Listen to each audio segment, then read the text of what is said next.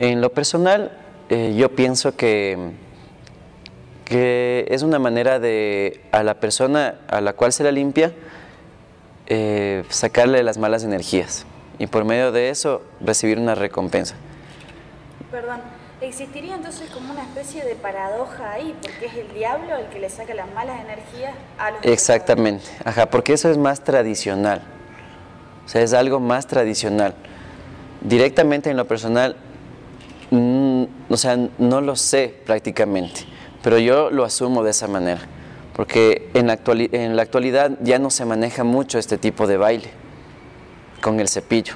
Hay pocas personas que lo realizan y en la ciudad es muy poco verlo. En otras parroquias, eh, en Calpi, en Yaruquíes, que también son lugares propios de diablos, ahí se lo, eh, he podido observar. ¿sí? Pero cuando yo te manejaba unos 15 años, yo veía a, a los diablitos que hacían esto. ¿sí?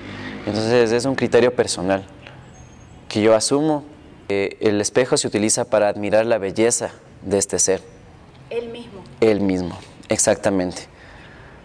Porque la gente admira el baile y admira al personaje. ¿sí?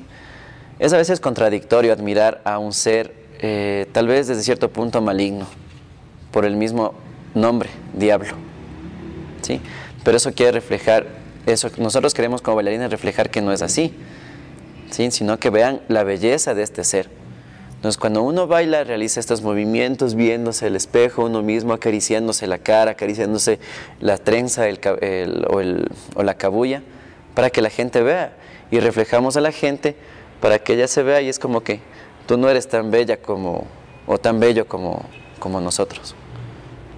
Ese es un implemento súper importante. En lo personal, lo más importante para el diablito. ¿sí? porque es con el cual marca el ritmo. ¿sí? Todo lo que concierne a este tipo de baile se marca un ritmo 4x4. ¿sí? Entonces vamos con la mano derecha, siempre se lleva el sonajero y se va marcando de acuerdo a la música. ¿sí? Y de acuerdo al ritmo también y a los pasos que uno realiza. Y también, eh, según la tradición, ese sonido espanta también.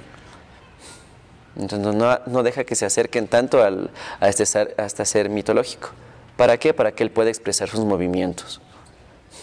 Entonces escucha esta bulla, la gente se asusta y la, o la reacción es regresarla a ver, pero no se acerca.